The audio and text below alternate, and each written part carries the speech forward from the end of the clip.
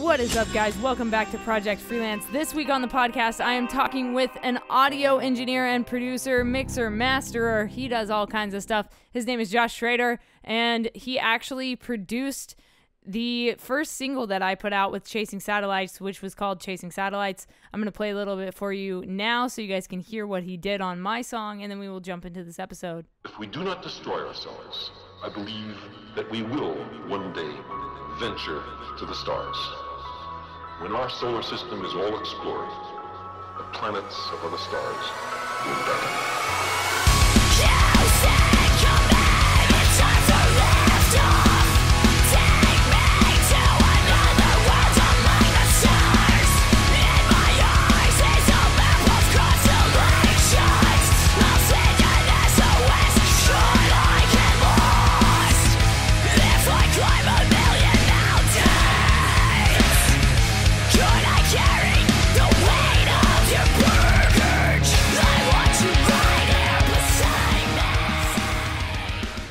So, right before we get started with this episode, I need to thank our partner, which is Liquid Death Water. If you don't know what Liquid Death Water is, don't worry, I've got an ad coming for you in three, two, one. From the streams of the Austrian Alps comes a new kind of water, a water that is sure to raise you from your grave. If you're tired of buying cases of plastic water bottles that contain carcinogens and God knows what else, or if you're trying to lower your waste footprint. Liquid Death comes in beautifully rugged aluminum cans. Murder your thirst with a can of Liquid Death. Check the link in the description and use code just the letter K at checkout for 10% off your order. Liquid Death. Murder your thirst. So yeah, if you guys want a discount on Liquid Death Water, use the code just the letter K at checkout and you will get a discount. There is a link down in the description. You can click on it. it will take you straight there with the affiliate code. Thank you guys for supporting the podcast and supporting Liquid Death Water with all they are doing to give back to the environment. We appreciate you, Liquid Death. Thank you for partnering with this podcast.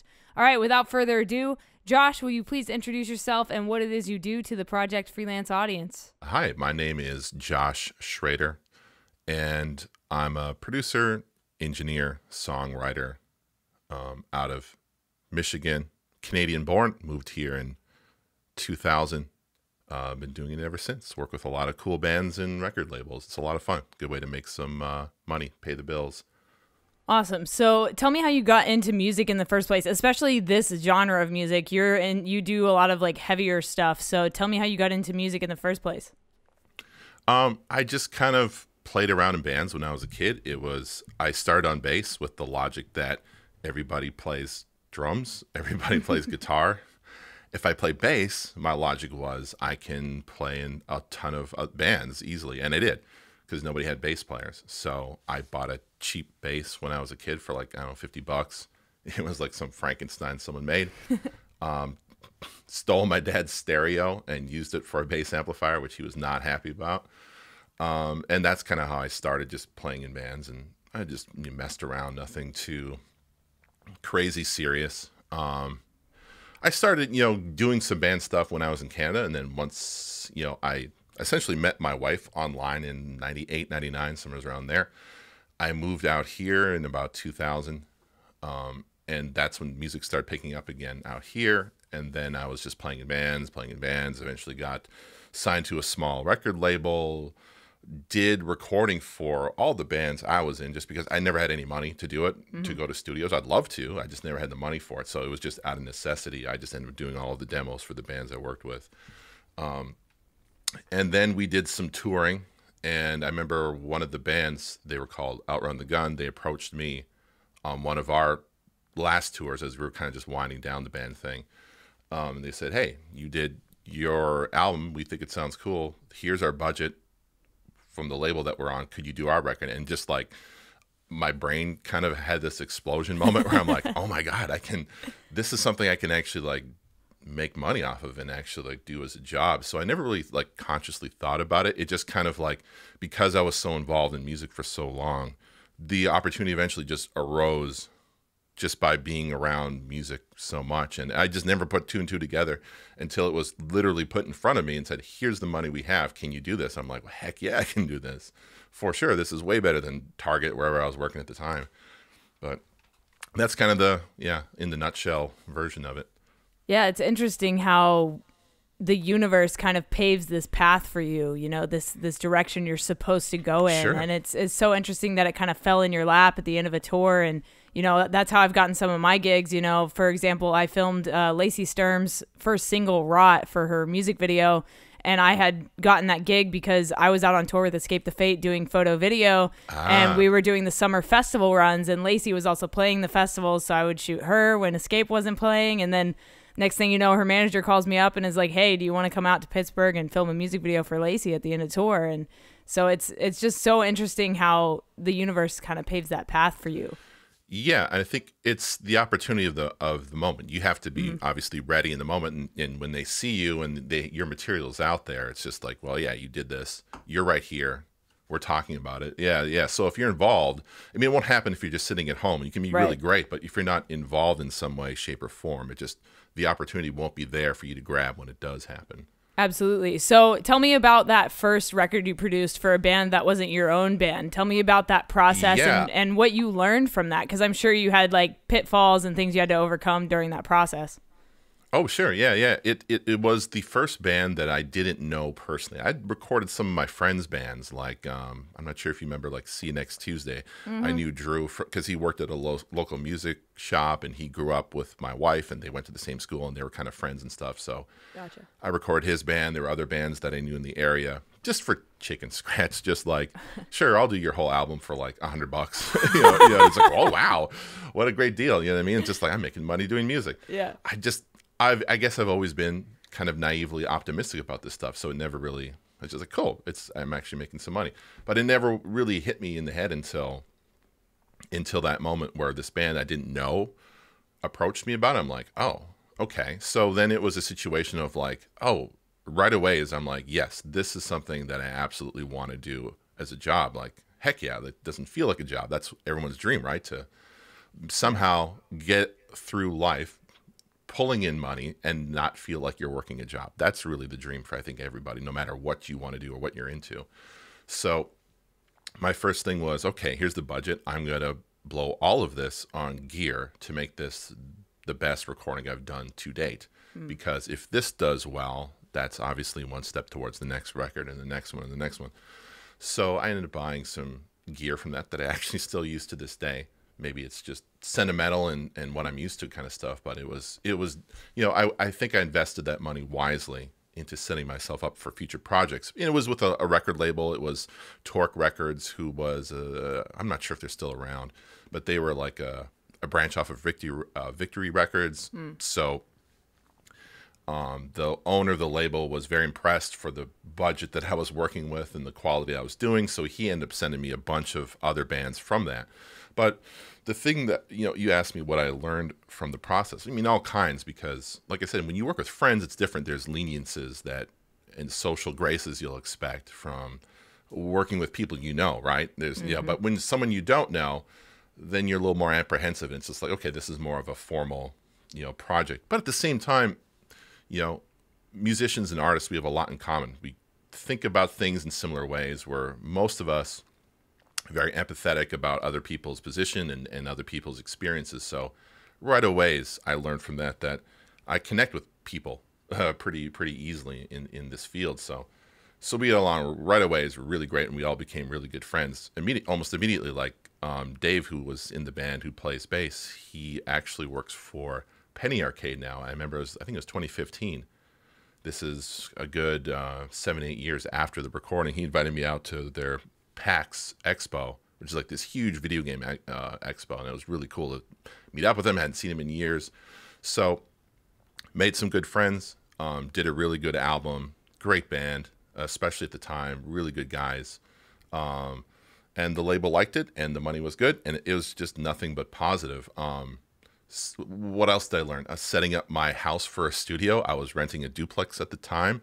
Um, that's obviously presents some challenges with neighbors and stuff. so I did a lot of research on noise ordinances, what I'm legally allowed to do, what I'm legally not allowed to do, and sometimes that crosses uh, interests with what the neighbors want to hear versus what I'm allowed. Yeah, so there's you know I wasn't really the best uh, terms with some of my neighbors, but it's one of those things. Like I, if I'm operating within noise ordinance, I'm not going to sweat it too much. But it was interesting. Yeah, learned a lot, and it really started to snowball because, like I said, that label owner liked what I did. The budget was great. There's nothing else. You know, not too many other you know producers that were doing records of that quality for that low price in that time. My, my rates have gone up quite a bit since then, but at the time that was a lot of money. That was like more than what I was making, like at a minimum wage job. And to me, that was I was in heaven because of it.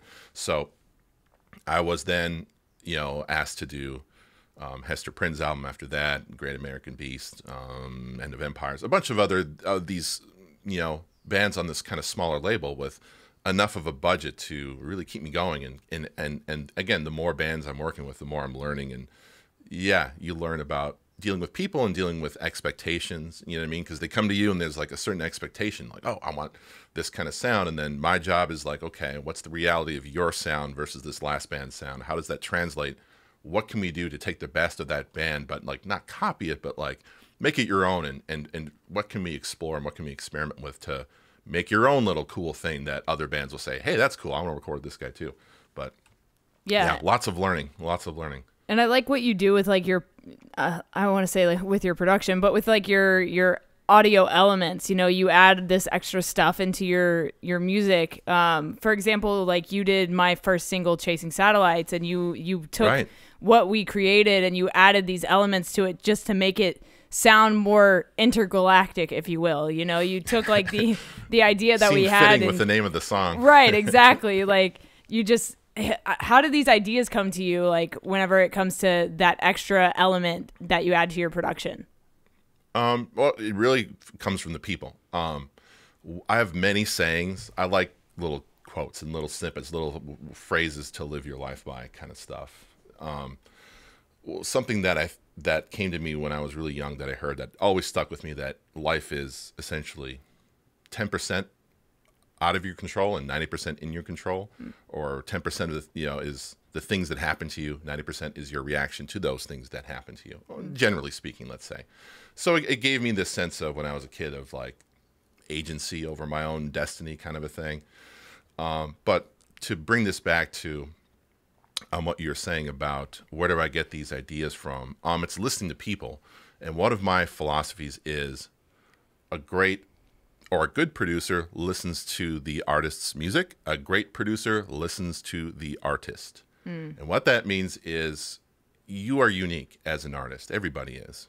Um, so my thing is to when people are here, I listen. We have a lot of conversation, and I try to listen to people and figure out what is it about this person that is unique that we can play up that they might not even know. But because I'm an outside source, I'm the you know the artist is the in the fishbowl, and I'm from the outside, kind of looking. It's like, okay, what are they not seeing that I can kind of bring out and make them unique? Because your signature, your individuality is your most important thing, I believe, as an artist. And you can be really talented. You can be Bruno Mars and, and have this incredible range, or you can be Johnny Cash, who has no range. yeah The real defining thing, the thing I think that has the most value, isn't just uh, raw ability, it's your uniqueness, your characteristic, your vibe. You know what I mean? Those intangible things that are uniquely you as opposed to learned through music theory or vocal training, all that kind of stuff. That's what I believe when it comes to music is the true value is the individual. And what can I do to enhance that? You know, just just for my own interest, it makes the records more interesting rather than just doing the same record over and over and over again. It's easy to do because you just set up your templates, apply it, and just churn it out like a factory. But that's not inter- I'm not interested in doing that or really like contributing to records that sound that way. I like I said, I like focusing on the individual. So when you ask me where do these ideas come from, um, yeah, listening to the people I work with and and trying to figure out what is it that's cool or quirky or things that they might think is a flaw are, flaws that are actually cool um, characteristics that I can like, oh, let's push this forward. It's like, oh no, no, I don't want. I, I hate that. It's like, no, no, no. Trust me, that's really cool. Um, and that's what makes you unique, as opposed to, like I said, focusing. Well, I want to play all these drums and I want to do all these guitars or sing all these notes. If it's not your strength, um, don't worry about it because people who've done way less range of singing, way less, way worse lyrics, way less drumming have done more things. Not because they're better than you, but because they have um, they haven't been afraid of their own, you know, quirks and stuff and letting those things shine. That's just, I guess, my philosophy on all that. Yeah, and that's a great note for artists out there. You know, it, even myself, like I can take things away from that. You know, don't let your your flaws get in the way of your creativity. I think that's a huge Yeah. a huge thing that can really help a lot of people. Yeah, and it's and we're all insecure, especially if, as artists. Like Right. I know, I know you're this way. I know I'm this way. I know pretty much all artists are this way. We are, like you said, our worst critics. So we're very self conscious. We're very sensitive people. So you know what I mean. And that's why we've turned to arts, and that's why we look through lenses and, and paint on canvases because we're very sensitive to other people's perspectives, and therefore we are very self conscious about how we come across, you know, and that kind of thing. So we a lot of times mistake flaws for our own eccentric personality traits or artistic traits because oh it's not like somebody else that's been super successful. Then you think it's a flaw right?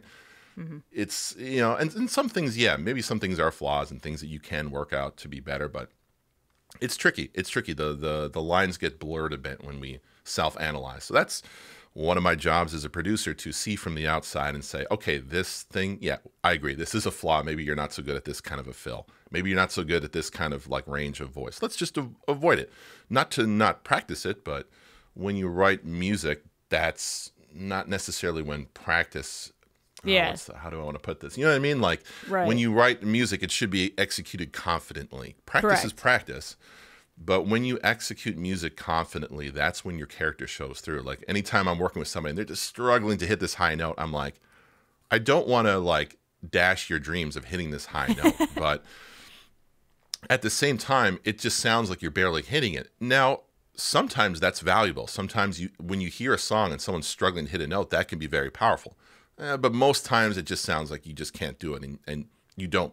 You're not. Uh, what's the word? Uh, you're not seeing it, or you're not. You don't want to face the reality that you can't hit that note. So my job is like let's let's just change the song where you can hit it, you know, confidently. That's when your character shows up, right? Like if you're mm-hmm. playing guitar and like, oh man, he's barely hitting those notes, man.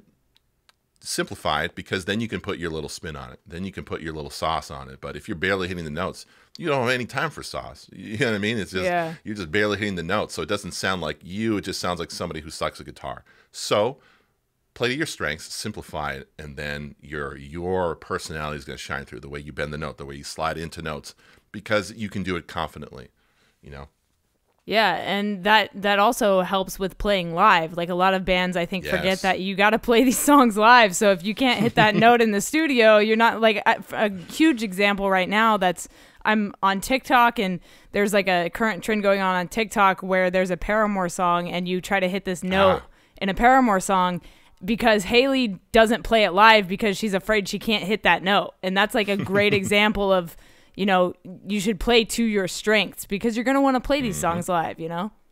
Yeah, and this is something that we have talks about too. And again, I listen to the artists I'm working with because some of them are like, I don't mind making compromises live. I want the album to be exactly Sure. what it is, and then live, I'll worry about it then. And both both approaches are valid as long as you're aware of it. That's the thing. I always try to make people aware of it. Like a band like Varials, for example, they're Yeah. very much a live band. Live, they don't play to clicks. They like to play clicks in the studio, but live, they don't like to use them. They like to have it a little more free form, free floating. That's the way I used to play, you know, which makes me almost feel old just because most bands these days don't. Mm-hmm. They like to play on the grid kind of a thing, and, and I get the benefits of that totally. Um, but it does set them up to not have backing tracks. You know what I mean? Yeah. You can't have any extra elements. So you have to write your music to, again, you know what you know the risk of playing without a click. You know what I mean? Yeah. Which is kind of like I said, it's it is playing by the seat of your pants, and that can be a lot of fun. But then as other bands, you know, that's right for Varials, but for other bands, let's say like Lorna Shore, for example, Right. there's a lot of production. So you're going to want to have all the, you know, without all the orchestral elements and all these other things, it, it might sound a little bare. But that's that's your art and that's the way you want to present it. And um, yeah, both both approaches are valid. Just make sure you know what you're doing. So when you're when like when you're struggling to hit this note, I'm talking with somebody. It's like you want to practice a lot before you do that, and they're like, yeah, and I might just change it live, or maybe live will play it, you know, a half step or a whole step lower. Right. I'm like, okay, that's also an option. Um, so th- that's funny because this topic reminds me of another philosophy of mine when because this is a discussion we have all the time, like what's the studio album what's the live version of it? And the way i try to make people think about it is let's say you're writing a star wars the next star wars film. And the plan is you do the film you make it and then you're also going to do a broadway version of it right? Mm-hmm. the, the, live version of your film. So what are you going to do? Are you going to compromise all these complex tie fighter chase sequences in your film because you're going to do a live version of it? Well no.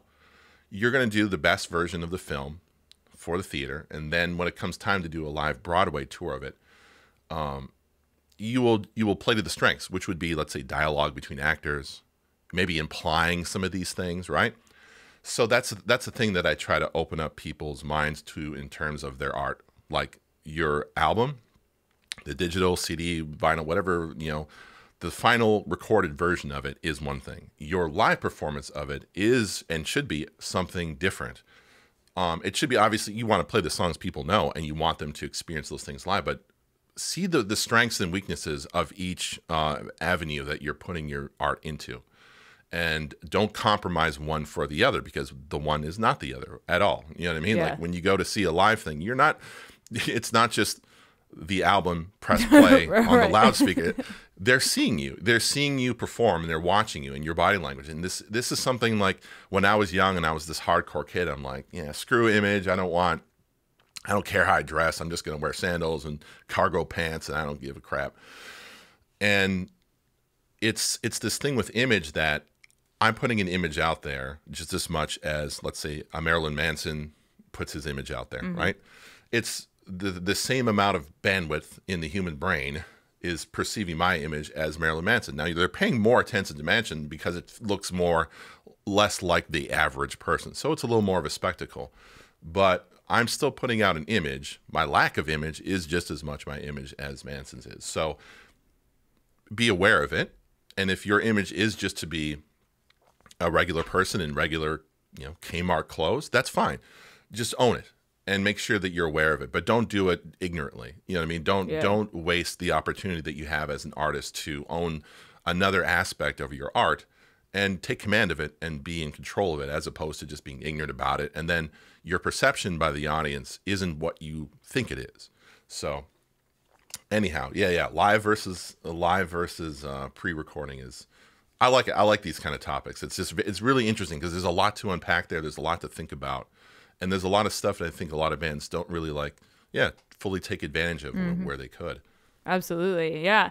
And then, can you talk a little bit about uh, how you learned to be a producer? Like, how did you like? Did you do you have any formal training? Did you go to school? Did, are you completely self taught? Did you go to YouTube University? Like, how did you learn how to do all this stuff, man? Um, yeah, I think, yeah, as a as an engineer, I, I graduated before YouTube University was the thing. Sure. Um, and it's great. It's a great man. It's such a great resource. It's so there's the internet is just a wealth of information. Um, when I first started, there was nothing. I mean, it was going to the library. Well, I grew up in a small Mennonite town in Canada, so the library really wasn't much of a help. Let alone I lived out in the sticks. So, sure. mom and dad, could you drive me 20 miles to the library? Yeah that wouldn't happen very often. and it, even if we went there, there's no resources to, to help me do anything. So right. I'm really kind of on my own. So it was it was a um, there was a city Winnipeg in Manitoba, which is about I want to say it's about 30 miles or 40 miles from where I grew up, and they had a, a music rental store. You could rent gear, which was really cool, and it was cheap. I couldn't believe how. I mean, especially like now, knowing how much that gear was worth, it blows my mind how cheap they rented it out. I was renting like Neumann microphones for a weekend for like 20 bucks. I'm like, this mic is worth $2,000. Um, so I would rent some gear and um, just experiment. Like I think compressors is what I need. I think I need EQs and mics, and some some friend has like an old crappy mixing board, and I have this mic, and so and so has this. So I borrow stuff from friends and just experiment. And um, even with all the information on the planet that we have today, which is amazing, I still firmly believe in also having hands-on experience and that Yeah.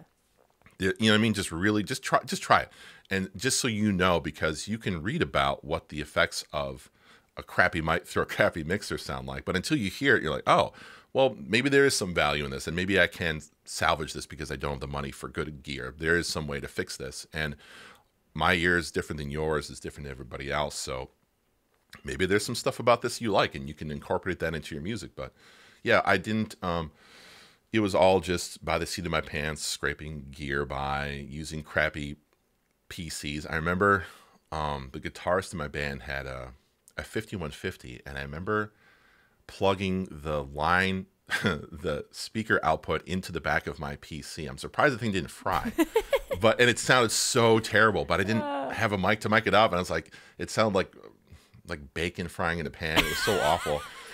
Oh man, there were so so many like just funny, dumb things that you do when you have no exposure to any Yeah. information whatsoever. So it took me a long time to to learn it and get good at it. And I wasn't really. It was just kind of like a like I said, just kind of a a ho hum hobby from about you know late '90s up until what was it 2007 is when I did my first band's album. That was the first full length I ever did. Was my first band's album. Everything else had been singles and EPs and things like that. But like a full actual album that was in 2007.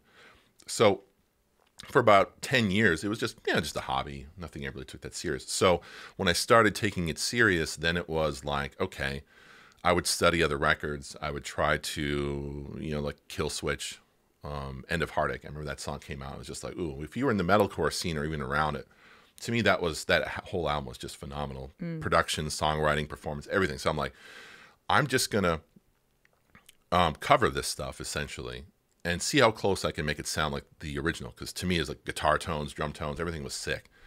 So I try to just recreate it, and that's the best way to see the the tone disparities between your crappy home recordings and Adam D's nice professional recordings. So I'm like, oh, my guitar tone sounds weak. What can I do to fix that? When you're playing the exact same music, that's when the differences really highlight themselves. So I'd study all these different records, August Burns Red or um, Tool, all kinds of stuff. You know, all these different records that I liked when I was a kid, and I started bringing these out. And like, okay, I like the sound of this. I liked Andy Wallace's stuff. What is he doing?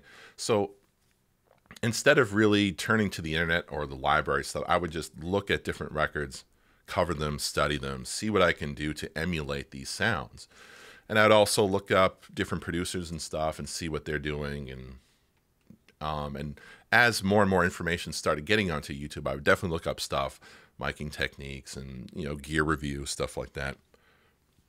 And you just have to be a sponge, really. You know, uh, no. But as far as schooling goes, no, I never went to school for it.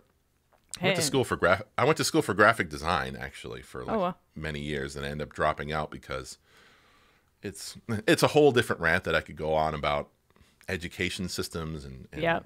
and what they're actually designed to do versus you know what the teachers would like to do or what the students would like Yeah. to, yeah that's a whole different rant but long story short I, I typically don't recommend most people to go to school for if because i get this asked this all the time where'd you go to school da da da da da i'm like i don't and i don't recommend that you go to school either because the single biggest thing that you can really do for any i think um, especially creative endeavor the best thing you can do isn't schooling or even looking up YouTube stuff or anything on the internet. It is making sure that you have just an unsatiable desire for whatever it is that you do. You can't be taught that in school. And I remember going for graphic design. I was like, there's a lot of people in here that just don't want it. I mean, they Yeah. they major in art, but you can tell from their body language and the the work that they produce okay, it's subpar. Why is it? Well, it's clear they don't really care. They like the idea of being an artist, but they don't actually like making art. Now, those are very different things, right? Like, I like the idea of being a billionaire. what?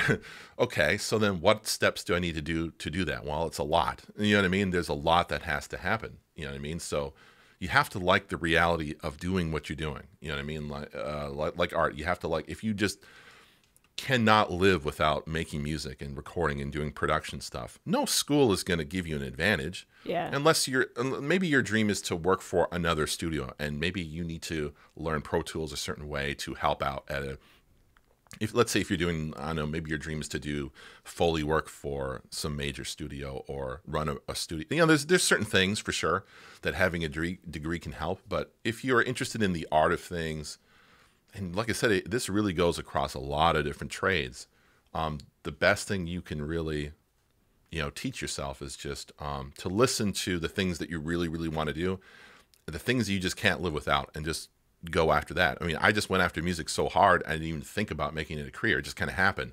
Yeah. And I think that's just because like I was just absorbing myself in it 24 seven. I don't have any talent for this stuff. My, my ears actually suck. I have terrible tinnitus. Um, some of the best records and some of the records I did that did the best for me, I, I just had horrible cases of allergies where like sometimes during the year my ears would plug or one ear would be completely plugged. So my actual like physical hearing isn't actually that good, but it's it's more than that. It's just about you know striving to get it done because there'll always be obstacles. There'll always be excuses to why Yeah. you shouldn't do it or why you can't do it. So the thing to do is, like I said, just um, you know, if you're into the production thing and you just love doing it, just keep doing it. You know, you know, just really focus on it and really focus on improving your craft. Um, I had a conversation with a friend of mine about something called beginner's novelty. And this is something I think we're all subject to on some level or another. There's something that you like to do and, and you, oh, this is so cool. Um, my own personal example would be shooting on film. I got really into shooting on eight millimeter film. Uh, was a couple of years ago? I got a few eight millimeter cameras, and I was messing around. With, oh, this is really cool. This is like so opposite what digital shooting is. The convenient, you know, it's it's not convenient. Right. It's so like Right. It's so like unpredictable work, and, and yeah. and a lot of work and expensive. Yep. And the beginner's novelty was discovering it, getting the camera, getting it to work, and figuring out how it works, and then producing results. Okay, so going from not doing any film to all of a sudden shooting a music video, I ended up doing a music video for King on a couple of years ago, and I was like, this is really cool. So beginner's novelty is like, cool, there it is, and this is cool. But the discouraging next step is what do I need to do to show an actual improvement over what I just did? That's where beginner's novelty will discourage a lot of people, where it's just like, I have a lot of work to do to actually make it, you know, what I mean, because like I said, going from zero to an actual music video, wow, what a what a huge feeling, and it feels Yeah. really good, right? But then, what's the next step? Well, a, a marginal improvement over what I just did for a lot of work, and that's the point where I, you feel a little bit discouraged and like, I don't know if I have the um, passion to dedicate the time I need to to actually you know learn film and learn the different lighting conditions and on all and and the exposures and and how to develop and scan and all this kind of stuff. And it's just like you know what? I had a fun little bit with it and I'll, I'll still you know mess with it from time to time but it's it's that beginner's novelty is worn off. So and that's something I guess when it, when you talk about education and, and pursuing a career in production that it makes me think about like like you like it. That's cool. Um, keep at it keep at it keep at it. And if you can get over that that hurdle of beginner's novelty where you're not making huge strides anymore but you still love it then you're really onto something. I think i think at that point you're really onto something that you can do for the rest of your life. Because if you're okay with doing photography and you're like, I don't see a huge gain from my, you know what I mean? Again, you go from zero, no doing no photography to also buying a nice Nikon, whatever, to doing some shots like, wow, this is really cool. Going from zero to that is a huge improvement. Right. Going from those beginner shots to something that's much nicer, mm, it's going to take a lot of time, a lot of effort. So if you can stick through that and get over that hurdle and you don't really think about it, you don't really almost have to consciously do it. You just do it because you love it so much. Then I think you're on to something with your career and it's something you could do the rest of your life and be really, really happy about it. Yeah, you're so right, man. And like that's that's how it is with most trades, you know. The more the more passion you put into something, the the better you're going to be at it, you know, and the further you along you'll get with it. Um I Yeah. want to talk a little bit about King. Uh so you've produced a couple King 810 uh records Yes. and yeah, just t- talk to me about what it's like to work with those guys. They their lyrics are, you know, very hard hitting and they they seem to have gone through a lot as a band. So what's it like to work with a band like King 810? Oh man, that's that could be a whole that could be a whole ass episode for sure. Um, yeah, um, they are a band that, um, like I said, being involved with the local Michigan heavy music scene, we ended up playing a few shows together. Um, I think our actual last show as a band, if I recall, was on a stage that King ended up destroying. So it's kind of funny.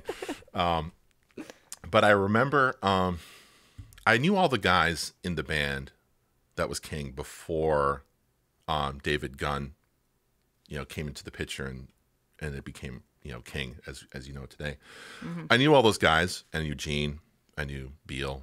I knew Torque or Andrew Workman. All these all these guys there in the band. I, I knew all of them from different bands that they were in. We played many shows together and you know borrowed gear from each other, that kind of stuff.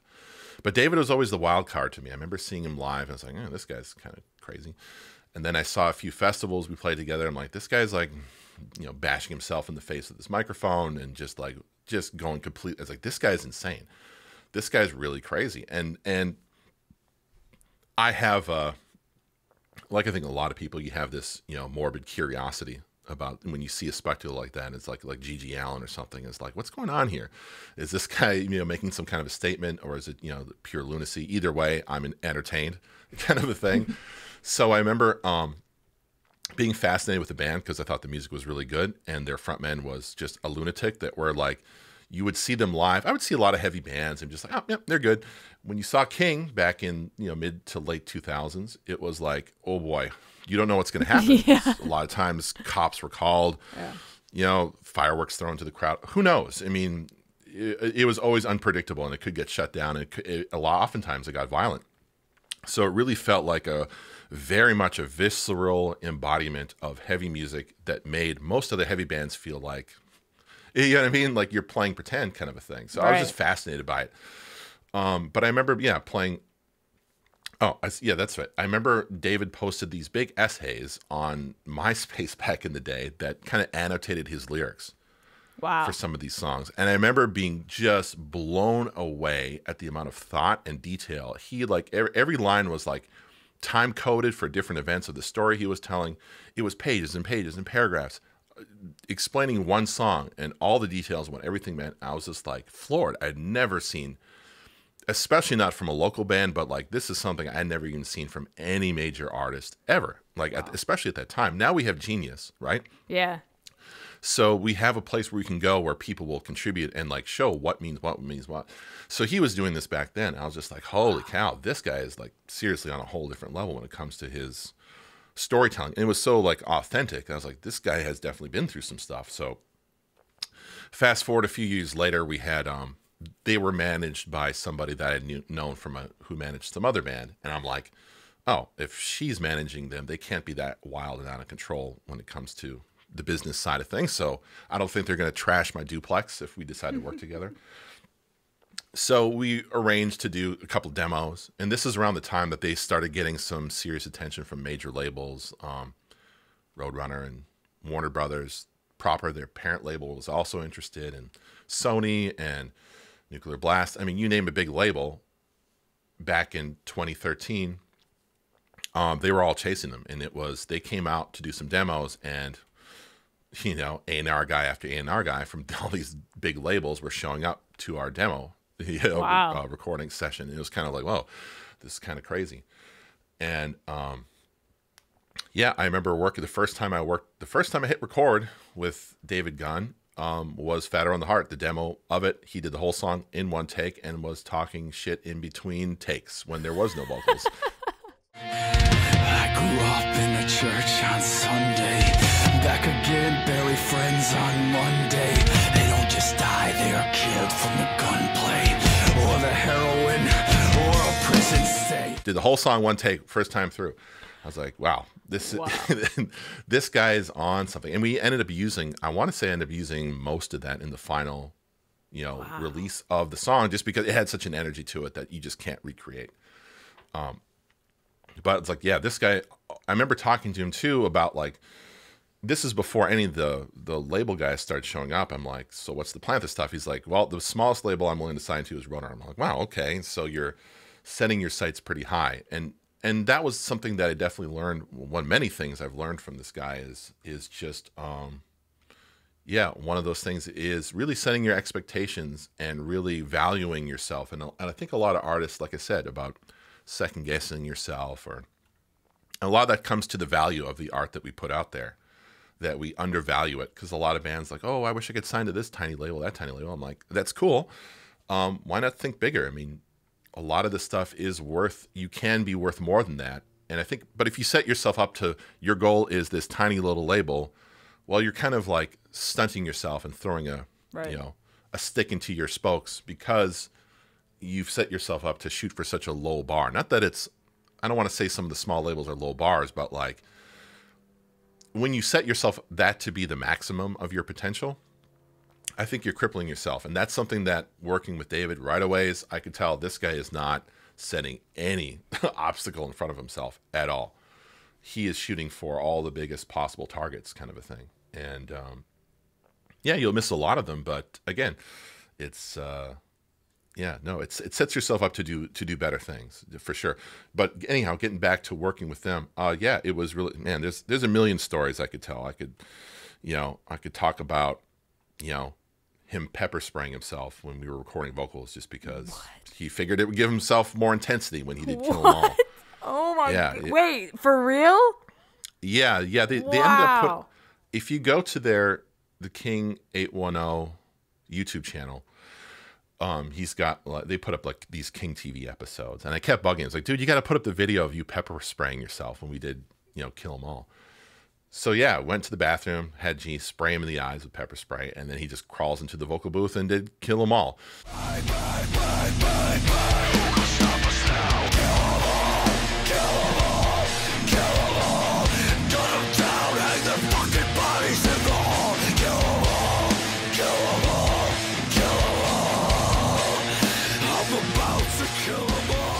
did most of the song. But the thing with pepper spray and doing vocals is, yes, it hurts, but the big problem is it takes your breath away. It's really hard to breathe. Right. So when you're going hard, it's just you need a lot of air. So that was a problem. After the first verse, he just started choking up. So then I remember getting a big bowl of milk and he's ducking his head in this bowl of milk. And then took about 20 minutes, 30 minutes, and then did the rest of the song and then did five more songs the same day.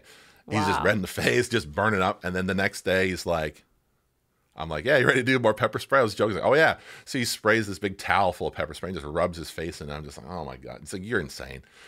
But that's the thing. Like, this, you know, the thing that you learn from working with somebody like that is just realizing that they will, they are just willing to do anything. Oh, yeah. He, he also ate a bunch of like serrano peppers too before he did that.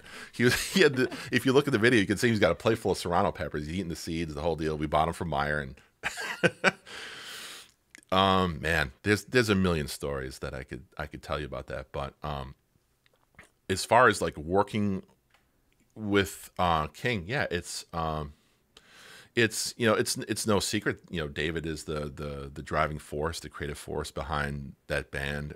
You know, uh, from the moment from really really from uh, the Midwest Monsters first EP going forward. Because if you look back to like some of the stuff they did let's say with Jason Hale from uh, Chiodos when he was in the band Right. it was very much music focused at that point his riffs guitars kind of stuff. And David I remember talking actually with, with this a few weeks ago and he's like during that period it was very much music over like riffs and stuff over the substance of the band and once Jason left, they did a bit of a retooling, and it was like we're going to be more focused on the message, the vocals, and that kind of thing. Like like any big band, right? You know what I mean? Like like Paramore. Like it's you know the focus here is on Hayley's you know lyrics, her performance, Right. her as really the the leading actor in this film that is Paramore, right? Like she's the star of this thing, mm-hmm. and that's how you get people to connect to it, the personality of it. So that's what he decided to do is retool it. And then from there forward it's been you know essentially the david gunn show in terms of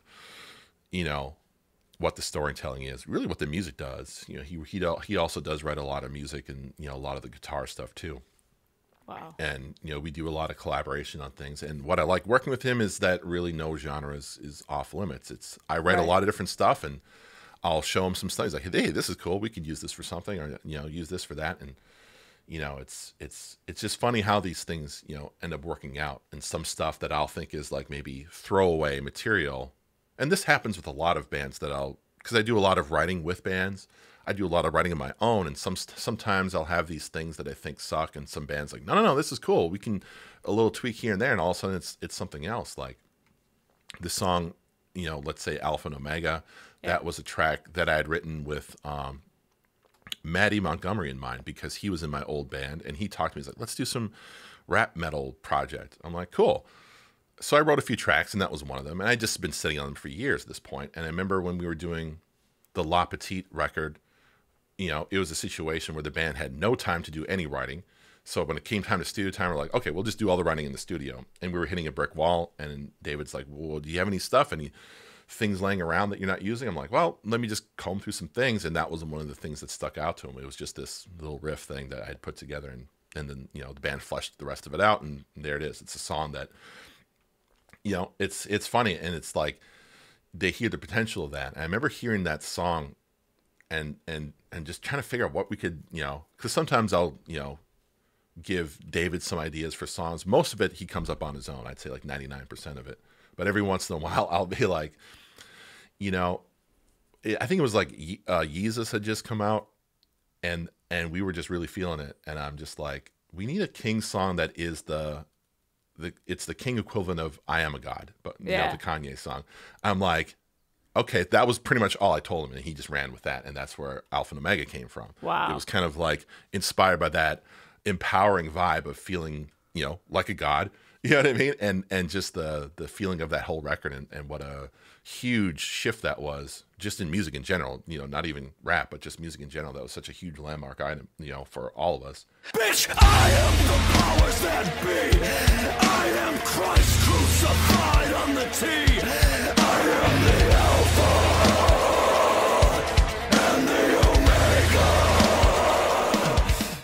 So But, crazy. yeah, it's like I said, it, it's funny. Like this is that's just one example of how working together, certain things will you know come together. Um, yeah, I love I love working with um, you know the guys in King, and you know especially David. Like I said, he's he's you know you know creative genius. You know, a, a true artist to me. Like there's a lot of us that we like playing with instruments, we like doing things, but that dude's an artist. He does, you know, he directed the Alpha and Omega video.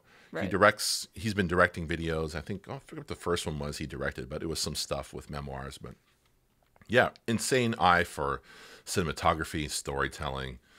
Um, yeah, just a just a really great person to work with and learn a lot from because he's you know we're definitely very different people. You know, because when you when you think of King, a lot of people think of bolstering and and and you know you know bullshit stories and stuff like that. But um, knowing the band and growing up, you know, near Flint, playing shows around there and stuff, it's just like it's it's very real. And if anything, downplayed in a lot of ways to um, not incriminate themselves. Let's put it that way. Um, but it's kind of funny because the rest of the world's like, oh no, no, they're making it up. It's like, well, I guess I can kind of see that because most bands are fantastical when you think about it right.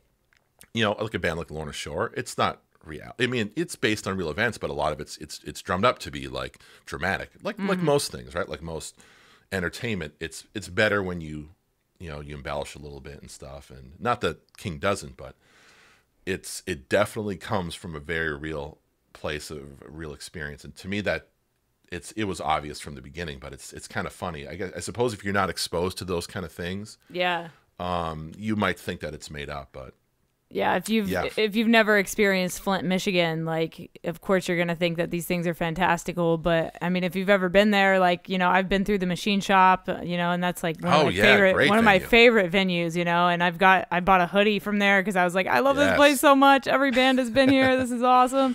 But yeah, if you've never experienced Flint, Michigan, like you know, when you hear King 810 and you actually do go experience Flint, like you can put the pieces of the puzzle together for sure. Yeah, it seems so obvious to me, but I try to think again. I try to think from other people's perspective because my Right. first thing is like, like, oh man, you're just a hater. But it's like, oh, well, I can kind of see it because if you've never really seen this stuff, if you've never really been in some of these, you know, war zone neighborhoods, essentially, Right. you would never get why the these kind of lyrics, why these kinds of stories are so integral to that.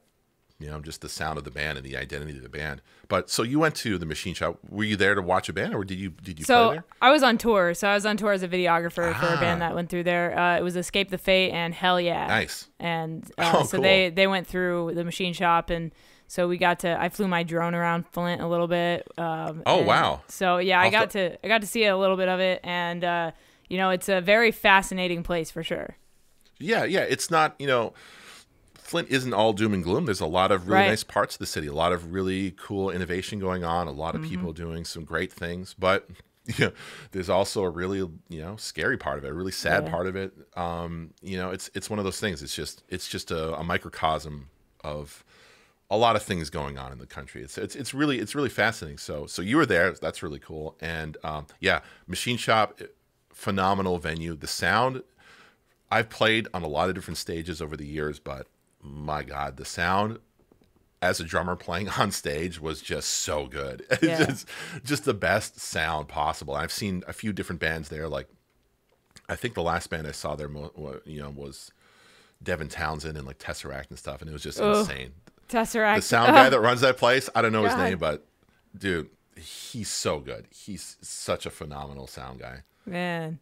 So let's talk about uh, switch gears a little bit. Let's talk about international bands like In Hearts Wake. Yeah. So you've done a couple Oh, yeah. things with In Hearts Wake, and I lived in Australia, so of course I know who they are, Oh. and I love I love their music. So it was so cool to see that you got to work with them. Um, how did they find you? How did you guys get connected?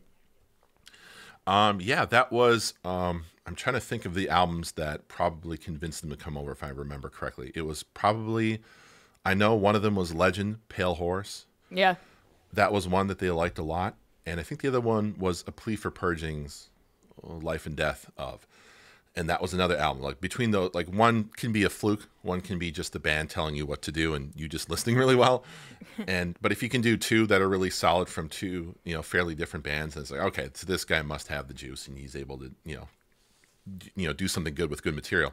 So yeah, they got a hold of me and I remember hearing the demos and they were phenomenal. You know what I mean? Like there wasn't a whole lot of change that happened in the studio in terms of song arrangement or mm. stuff like that or, or you know lyrical content. Not not a lot of it changed from the demos that I that I showed that I was shown. I remember like he was like, man, man, this is like this is really like at the time forward thinking in terms of you know the messaging, forward Right. thinking in terms of the songwriting and structure and yeah, the demos are really solid. I'm like, this is really, really cool.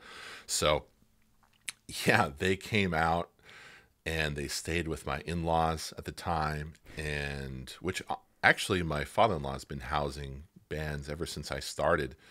Wow. Um, uh, this is a bit of a side story, real quick, but Yeah. when I first started, bands would come out and they would crash at my uh, duplex where my wife and I were living, and that gets old really quick. And but b- before it got old for us, it got old for my landlord, who was like, "Yeah, this is not happening. You're not having people crash here." So I'm like, "Crap, what am I going to do? These guys are out from Ohio. They you know can't just you know they do get a hotel. They can't afford that. Right, like right. this budget is shoestring enough as is." So my in-laws were like, "Oh hell no, they're going to stay with us." And so for the last what would that be now? Uh, 10, 11 years.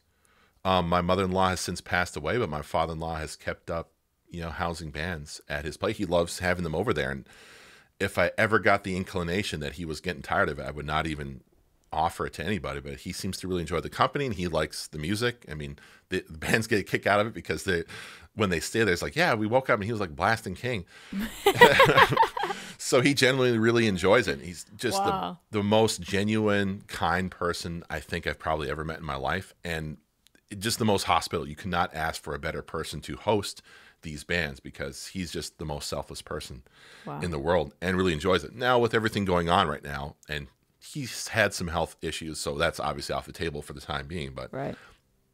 uh, anyhow, you were asking about yes about In Hearts Wake. So when they came out, they would stay with my they stayed with my in laws, and they just fell in love with them, and the feeling was mutual. They so they really connected, and since they weren't able to drive out here, we had to shuttle them back and forth. So it was a bit of an ordeal, but it was like you guys are making the trip from Australia, and you know what I mean. This is a decent budget record, so let's let's make this happen. You know, whatever you know, yeah, let's let's just do it and, and make it happen. So the first record we did together was Divination, and um, they were independent at the time, but I think they they had some label interest for sure. Um, and by the time it was done, we ended up shopping around, and I know Rise was really interested in them and Unified, and they really wanted Unified just because Rise out here, if they were American, obviously Rise would have more Sure. reach out here, but in Australia, you Unified's out lived there. in Australia, Yeah. yeah. So Unified is a much bigger deal for them.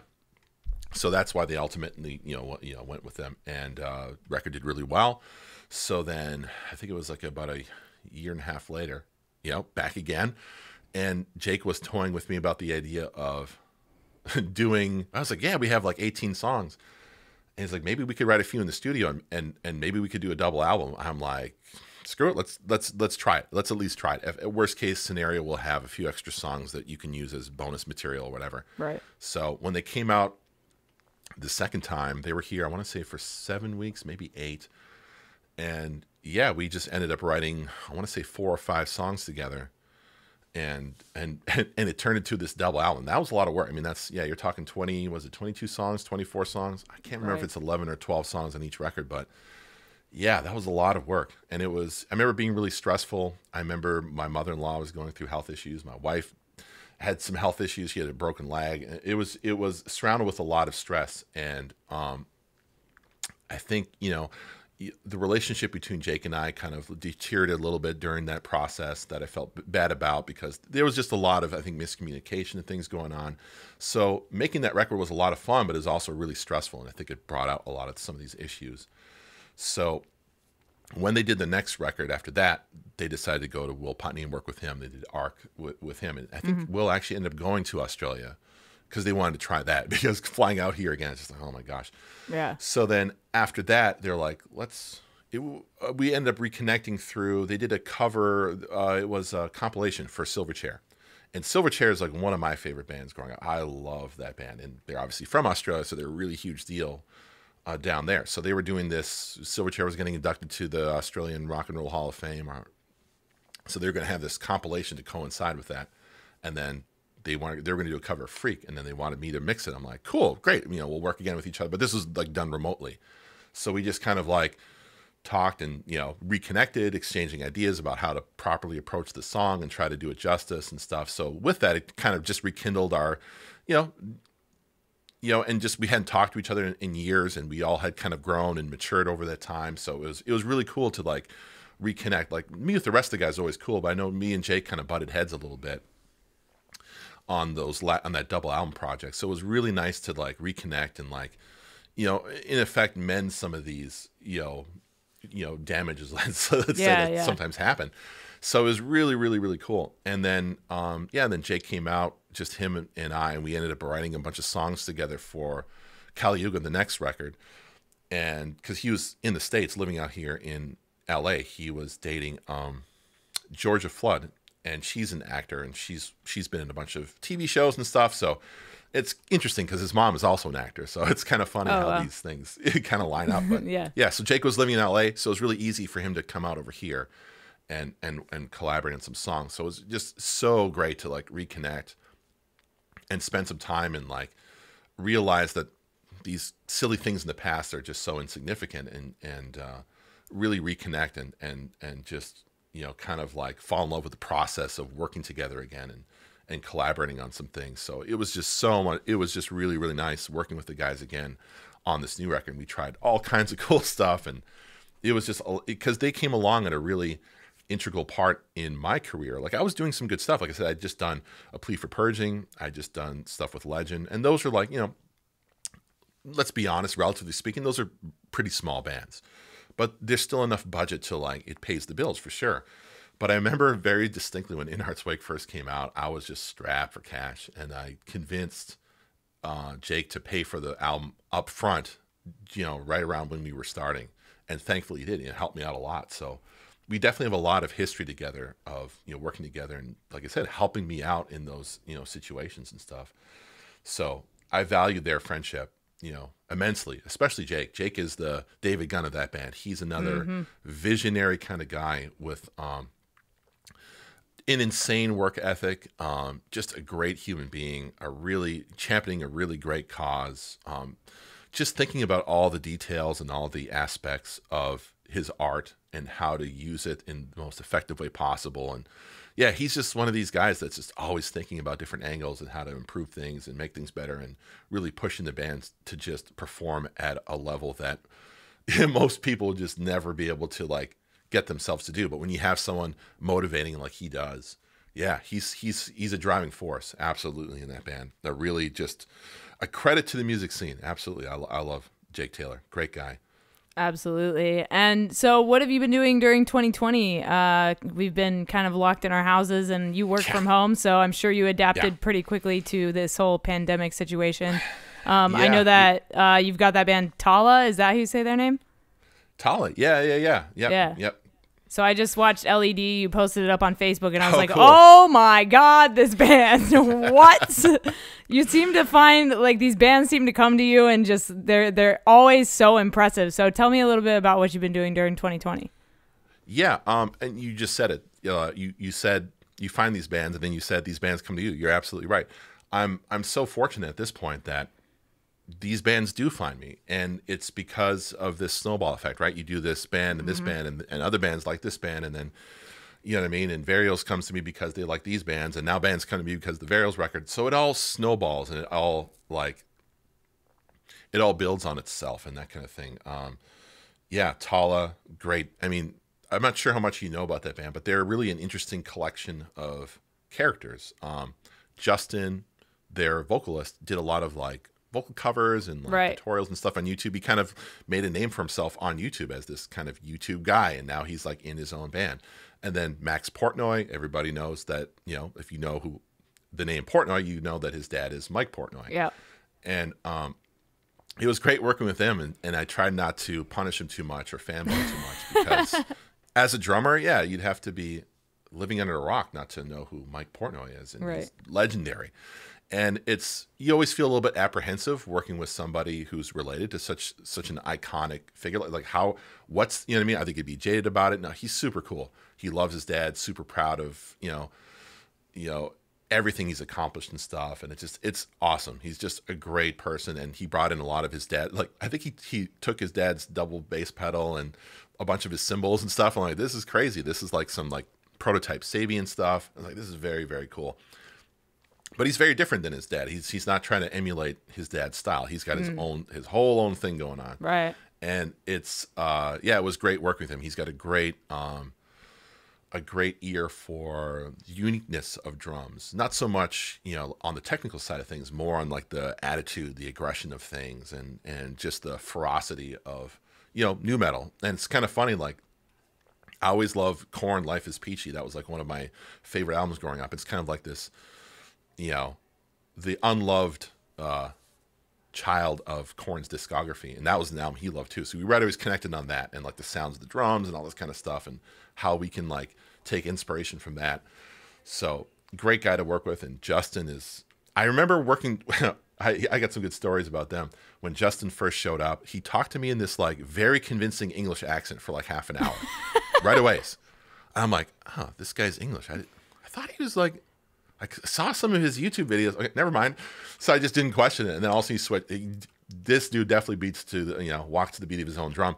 Um, and I remember asking because I'll talk to people like, "What are your influences?" I'm curious to know who influenced you and and how we can, you know, either play those up or try not to lean them too much because you don't want to sound like a ripoff either. Yeah. And I'm like, "Who are your influences?" And most you know, people who do screaming and singing will list, you know, the typical people you'd think of.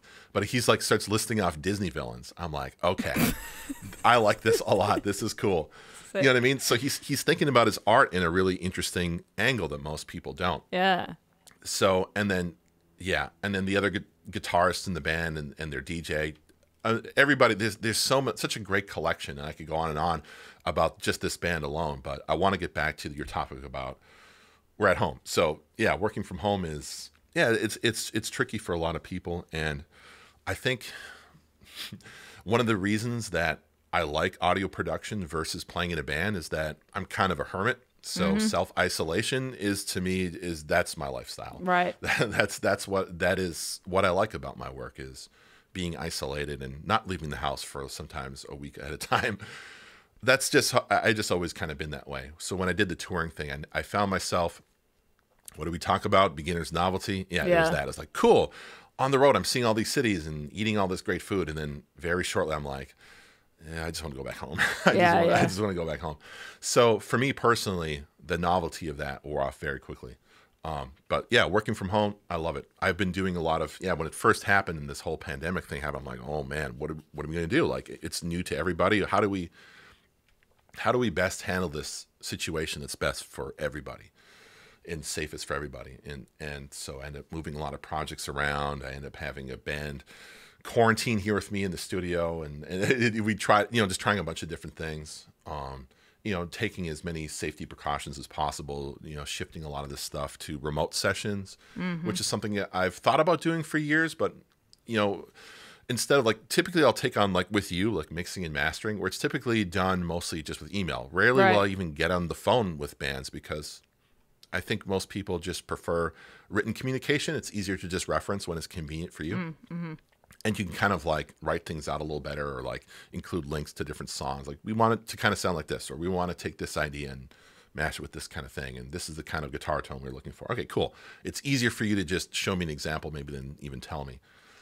Um, but what I've been trying to do with some of these remote production things is get more on the phone with people and talk to them more often because I think that's where one of my strengths, like I talked about, kind of comes through is is talking to people and getting the tone because you know through text you can only get so much because you know what I mean. What we want to communicate and what we actually communicate are sometimes two different things True. like just me being on this podcast. What I'm saying in my mind is one thing, but the way it ends up coming out and the way you interpret it at the other end sometimes can be very different. And a lot of times that's subconscious. Like it could be the speed at which I'm talking or the tone of voice I'm using for different topics.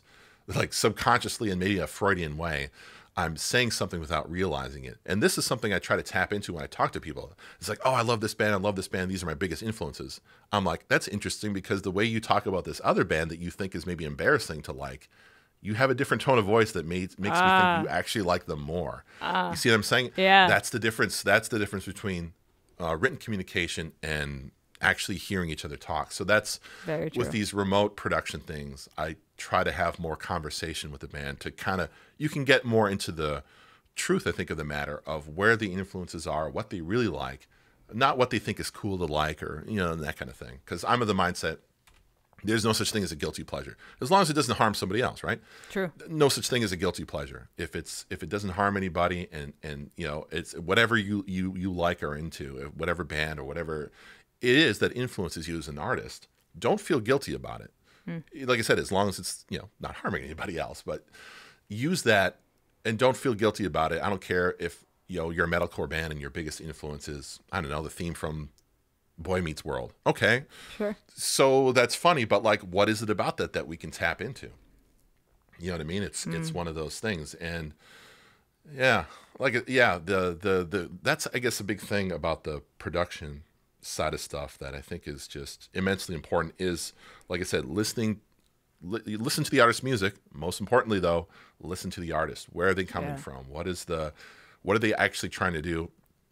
What are the things that they're trying to do that they didn't even realize they're trying to do? But when you talk to them you're like oh. So you almost have to kind of play this like musical therapist in some ways where like like I like to get to know people pretty personally. Like I think that every band that comes through my studio doors, if especially if they're here for a record that's like a month long, we leave pretty close friends. Like we've had a lot of discussion about stuff that's not music related, but and I find myself like it's a win-win scenario, right? Like you gain a friend, but at the same time, if I'm friends with you, I'm going to be more compelled to do you right and make sure that the album Yeah. that we do together does well for you. Like I, I take a personal investment in that. So sometimes it's yeah, yeah, it's it's hard to not take it personally. You know what I mean? When things you know go sour or if a band goes to another producer, I'm like, man, what did I do wrong? You know what I mean? Like and you have to kind of separate yourself from that because well, you know what I mean? There's there's a million different ways to tackle music and and your way while you are trying your best, someone else might have a good, you know, an advantage that you don't necessarily have. Mm-hmm. So but yeah, anyhow, yeah, when it comes to this, you know, working from home thing, figuring out ways to keep the conversation going and still having communication with the artist to me is very important. Absolutely. Um, yeah. And then we talked a little bit about how your rate has changed from where you started, obviously, which is how it should Right. happen as a freelancer. So, how long did it take for you to find your value and your worth? Yeah, that's that's a really good question. Um that's a that's a philosophical question, isn't it? When you really Yeah, think a about little it. bit. A lot of people do struggle with that. Like what is if I ask you, what is your value and what is your worth? Not in monetary terms, but they are related psychologically, right? Yeah. I, I've always been one of those people that like there's something called the Dunning Kruger effect. Have you heard of this?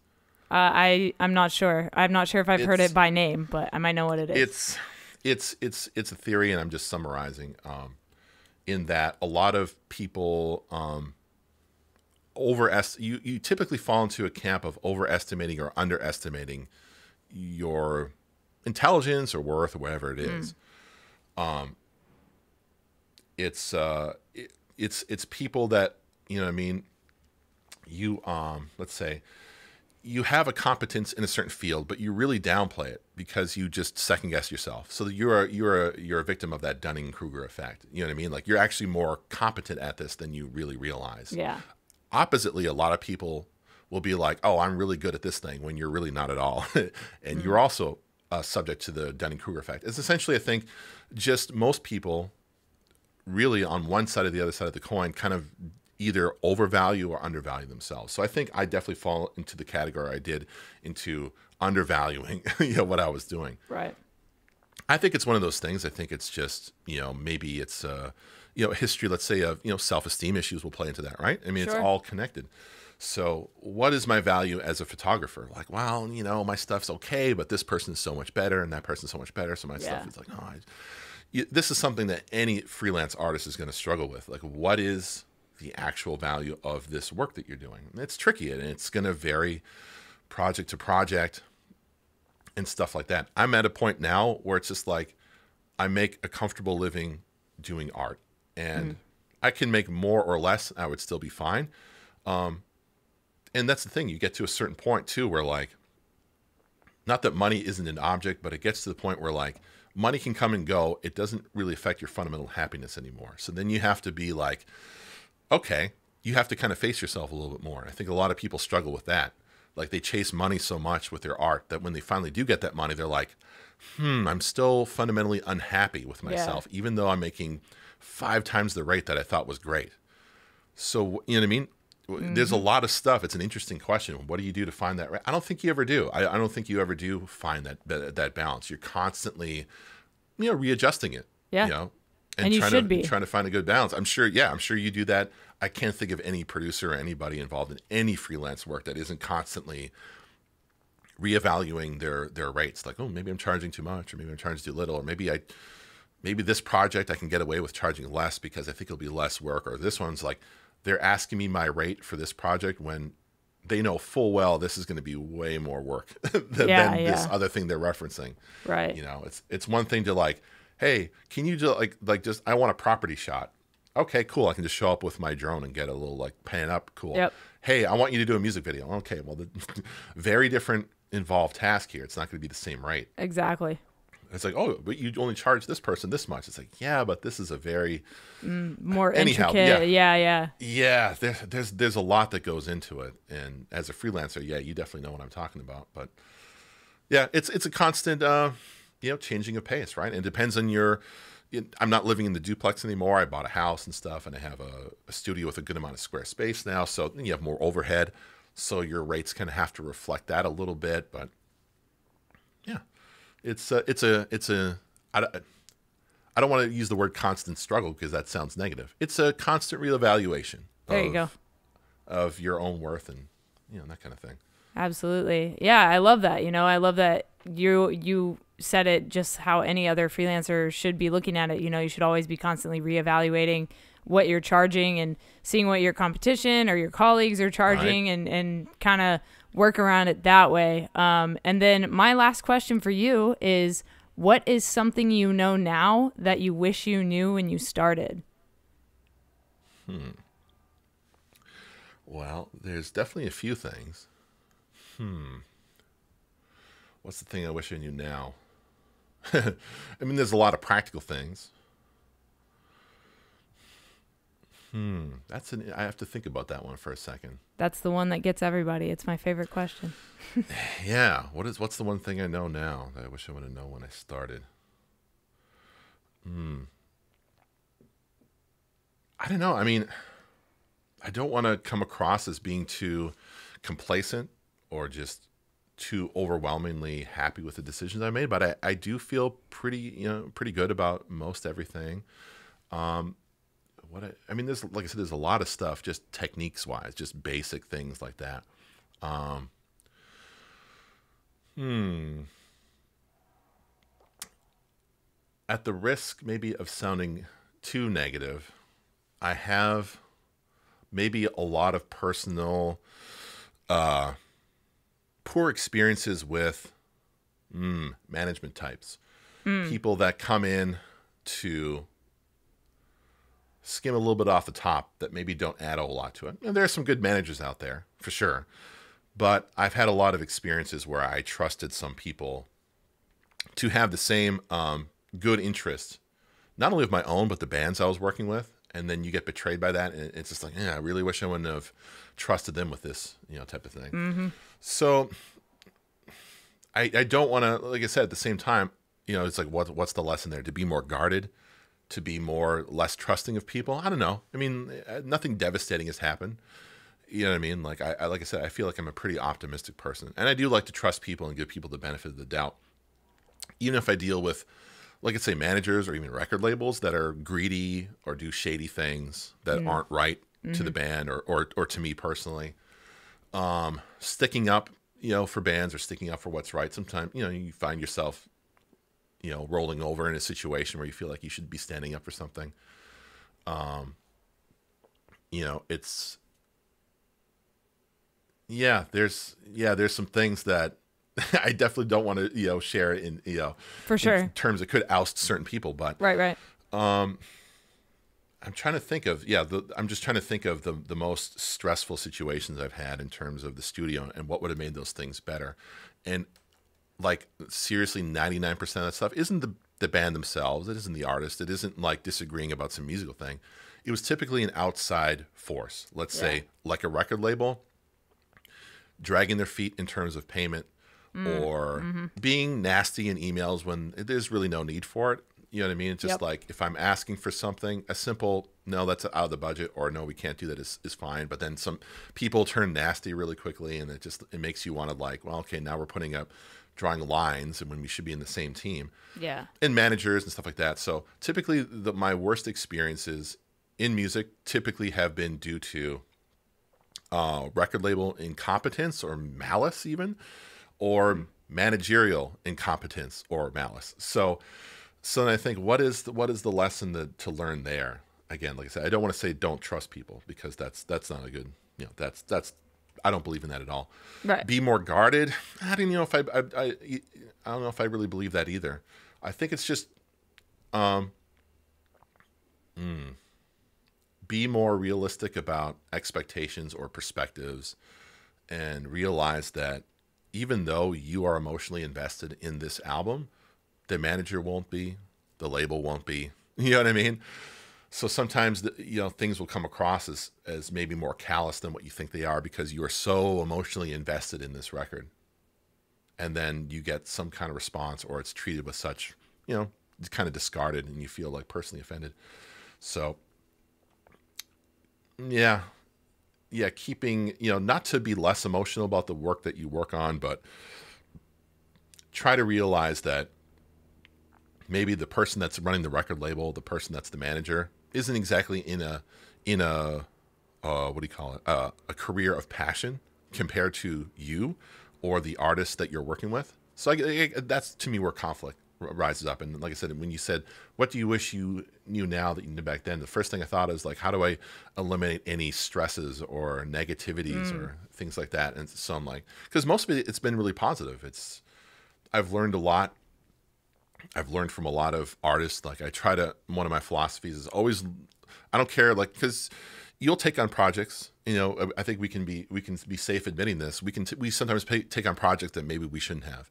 Either Yeah. we were too busy, or the the the project itself was like, I don't know if I'm necessarily on board with either the creative vision or just the ta- honestly the talent level of the individuals getting a hold of me Yeah. but I'm just going to do it anyhow because well, it's I still like my work and it's easy money and I have bills to pay and I have a hole in my schedule that needs filling and there's nothing else right now. So sometimes you'll take on these projects that you're like, yeah, maybe I shouldn't have done that, or you know, you know this, that, and the other thing. But I, what I'm trying to say with that, um, even in those situations, like, okay, so you took this on, and maybe this band is just like, oh man, you're you're just dragging them the whole way. I like to work with people where we're both.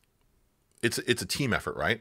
Like you pass the ball to me, I pass it to you, back and forth, to the benefit of everybody, as opposed to like, you get a band here and it's just like they don't know how to dribble the ball. It's like, oh my gosh, I'm gonna have to I'm gonna have to play this game by myself and and, and really drag you guys the whole way, which like, I'm not really interested in doing. I like when bands are here and they learn something from me for sure, but I like to learn some stuff from them too, and I do from pretty much everybody, and that's always been a philosophy. I always learn from everybody, so it's been a constant, um, I don't know, learning process.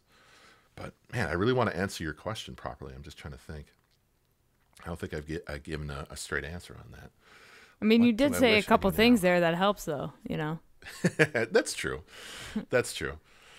But no, no, I'm I'm generally pretty, I don't know, pretty content with um, the way things have gone. I have really no big regrets other than just like I said, you know, maybe maybe letting the passion of the project get the best of me sometimes, and Sure. and and you know what I mean, you know, get too emotionally invested in some of the projects, which I don't think is a bad thing, but I think it does sometimes turn sour when people are involved that don't have any passion about it and they Yeah. don't have any compassion or understanding for your just drive to make this, you know what I mean, and being emotionally involved. And you have someone that's just, you know, pushing a pencil and I got all these other records to do. Who care? You know what I mean? Whatever. We got to do this one and that one. Just like, man, but I'm, I'm so on fire about this. And so being a little bit more maybe realistic about mm, the implications. Not, ah, it's, it's a complex thing, I suppose. And I, I don't want to admit I'm wrong in that scenario, even though I am super fired up about it.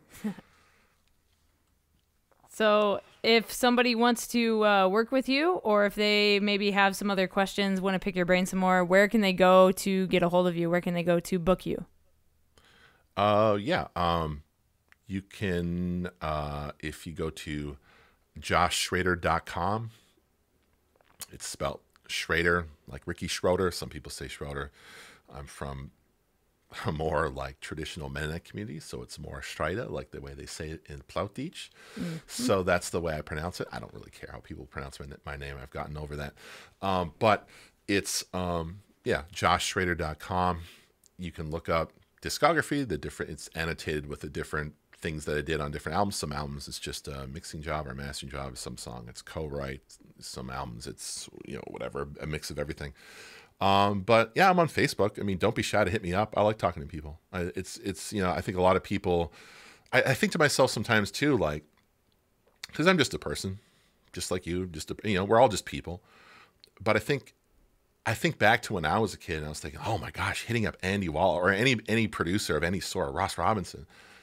They're just people. You know what I mean? I you know I, I like talking to people. I, I love what I do, and I'm always glad to talk about music stuff. So yeah, don't be shy about hitting me up on Facebook. It just I don't I don't go on that often. I don't I try to to make a habit to stay off social media as much as possible. But Sure. you know, a quick conversation, yeah, no problem. It's it's it's always a lot of fun to hear from people. Um, but uh, yeah, or, or Instagram or Twitter, it's all it's all pretty easy to find me there. I think I have the, I think my wife put all my social links on my website, so I should be covered. Yeah, and they'll all be down in the description of this episode for you guys as well. Oh, so you guys thanks. can. Oh yeah, of course, man. You got You're a pro, Kane. You're a real pro. hey, what can I say? I've been doing this for like two years now, so Nice. pretty pretty veteran podcaster here. How many podcasts have you done? Uh, so over 150. So probably closer to Good 200 job. now. Yeah, and Nice. uh, you know it's been every single week except for one week when George Floyd died. I wanted to take that week off and just Hmm. you know let people kind of uh, focus Yeah. on that for a minute. But yeah, we've done every single week. We've had guests on every week, and this is uh the second episode of season seven actually. And I'm trying to get a bunch of producers on this season. So I'm trying to talk to Joey Sturgis, Andrew Wade Oh, nice. uh, yourself, obviously, and uh, Kris Crummett. You know, we've got a bunch of producers that I'm trying to reach out to. So hopefully we Oh, very can get some more on here. Oh, that's great. I appreciate it. I appreciate the invite. It's, it's course. nice. And uh, I will share this around. We'll get some more traction from a few audio nerds that will check out your um, your podcast then.